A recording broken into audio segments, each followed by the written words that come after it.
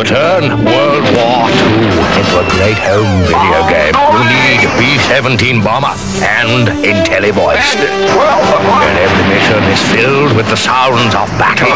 Never in the history of video games have so many owed so much great gameplay to so few. B-17 Bomber and IntelliVoice from Mattel Electronics. Now get a free IntelliVoice module by mail when you buy any Intellivision Master component.